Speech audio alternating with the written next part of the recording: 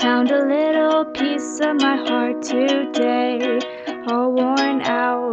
But what can I say? My heart's been used in so many ways, and I'm pretty sure I'm better off with a heart that's missing pieces and a heart that's untouched. Cause I am loved, and so are you. So share a piece of your heart, and I'll share mine with you.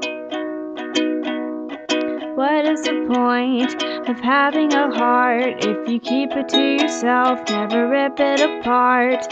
Heart was meant to be opened up, not kept inside where it stays shut. Cause I think you'd be foolish if you thought that your heart would be the same whether you shared it or not. So here's a piece of advice that I hope you knew. Share a piece of your heart and they'll share theirs with you.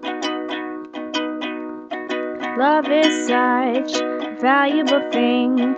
You should see the joy it brings when you show love to someone else.